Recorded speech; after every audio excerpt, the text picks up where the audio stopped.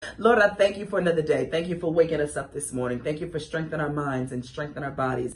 Thank you, Lord God, that you speak clear and we hear you. I thank you, Lord God, that when the enemy comes to distract us, we will not follow because we recognize his voice.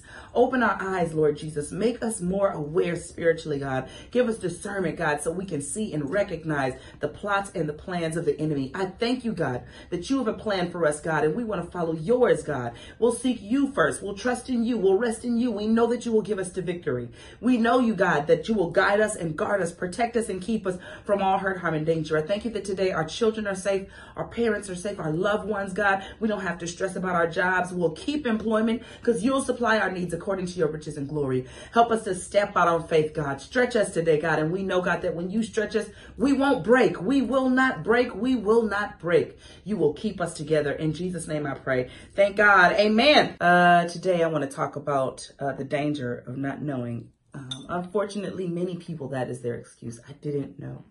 And the Bible clearly says, my people perish for the lack of knowledge. Uh, Job, there's another scripture in Job 36 that says, but if they do not obey, they shall perish by the sword and they shall die without knowledge. It is our job to make sure that we are aware of what's happening in our own lives.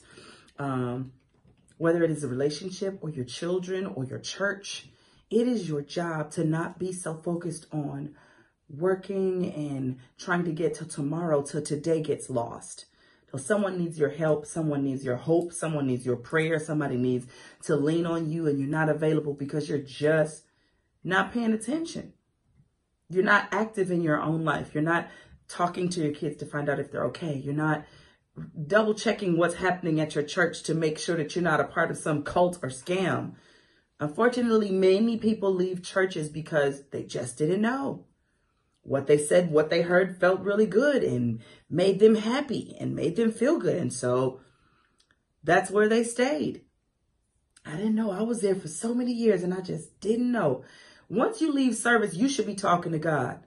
Now, Lord, make that come alive. If that information comes alive, the Lord will show you, or the Holy Spirit will tell you that I, I ain't I ain't never said that. You just heard a whole message. Y'all danced and shouted for an hour, and I ain't, I wasn't there at all. I left y'all service hours ago. And you can be upset at the pastors for being crooks, and you can be upset at the people who are not paying attention in your lives. But what about you? Can't you pay attention? When you're getting little inklings of people or little feelings about people doing stuff that's crooked and shady and not right, be smart. Start doing your research. And I'm not talking about in the message. Hey, have you heard anything? Get on your knees and pray and seek God so he can reveal to you what's happening in and around your life. You don't want to be a part of a scam you didn't know because you had some other motivating feeling. I, re I really want to be this.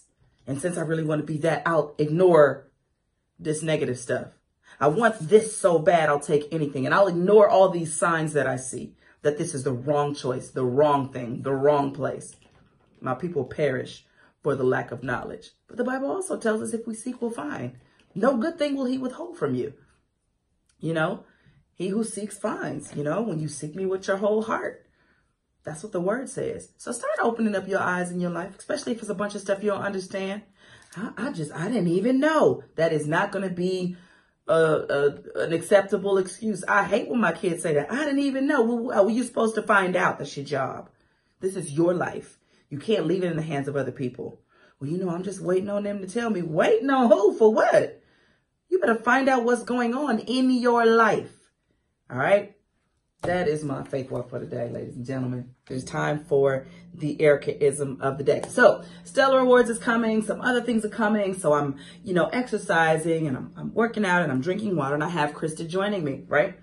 And so, um, it, okay, I'm just going to say it. I don't enjoy working out, but I know it's good for me. I know that while I'm doing it, I need to get my mind and my spirit right. So I need to tell myself, this is good for you, Erica. You need to do this. This is going to reap benefits. It's going to last longer than uh, just what you'll look like at an event. It's going to keep you healthy. It's going to keep you energized and you'll have the energy that you need to perform on stage and travel and do all these things that God has you. So you have to talk yourself up sometimes.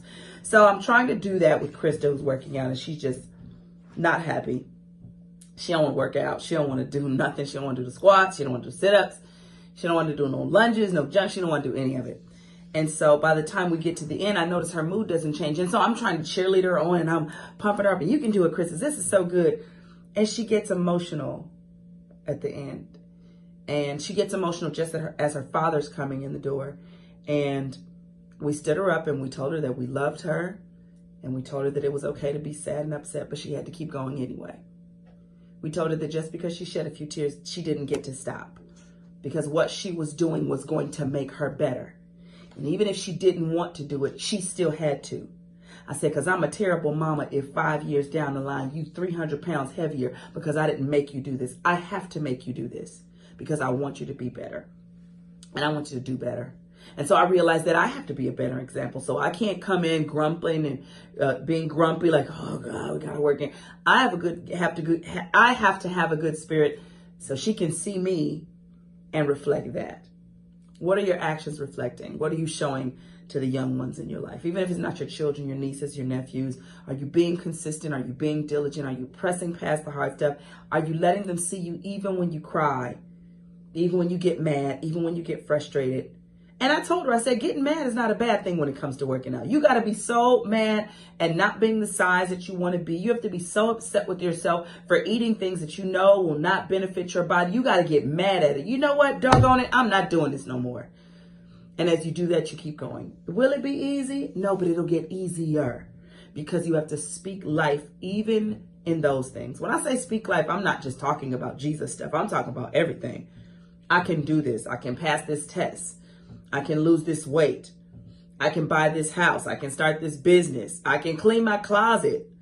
You know what I mean? I can just small. You have to make sure that you press past the tears, press past the anger, press past the frustration, press, press past the desire to go, you know what? Just forget it. I am who I am. No, be your best. That takes work and that takes diligence. So do it. You can do it. All right. Be encouraged. Stay focused, stay motivated, press past the pain, and get to greatness. All right. That is my Ericaism for today. Love you and I mean it. Griffin was so hard, man, because when you see your child crying, you immediately want to go, oh, that's okay. But it's not okay. It's not okay. You gotta, you gotta do it anyway. It's not gonna feel comfortable and you can give yourself all the excuses. I'm so hungry. My knees hurt. Keep going until you get the healthy body that you deserve. All right, let's get up mornings. Let me give them this love talk real quick. So our poll question today was, you know, the best place to meet somebody. Of course, you get all the usual things. You can meet in a grocery store. You can meet in, uh, what did they say? Home Depot or Lowe's. Um, somebody even said that you can meet in a Dollar Tree. And then, of course, somebody said church. Let me tell you something if you meet somebody at church. You better do the same investigation that you would do if you met somebody at a basketball game. I don't care if it's the worship leader or the youth pastor. If you meet somebody in church, you better check them out, the guys and the girls. There are people who love Jesus, but they just ain't got their heart right all the way. They ain't got their spirit right. They ain't got their flesh under control. So they may serve the Lord, but they serve themselves Monday through Friday. And you got to find out. I mean, maybe they come dressed nice and they speak well and they travel. So what? But he's a gospel singer. So what? But she's a minister. So what? Do your research. Find out who they really are. I think too many people have gotten their heart broken because they assume that I met you in church. It's all good. I mean, check them all out. Deacons, drummers, pastors, youth leaders, the people that cook the food. Check them all out. You hear me? Don't you play no games with yourself assuming because they say, Lord, Lord. The Bible even says everybody that says, Lord, Lord won't enter in just because they in church does not mean they have it all together. Do not be fooled, people. And I was raised in church. That's how I know. Trust me. Do the same research. Check them out. Ask the same questions. You know, give them your good side eye. Make sure they get around your people so you can have some other people with that good discernment that can tell you, uh-uh, baby, her spirit is off. She don't have no good intentions.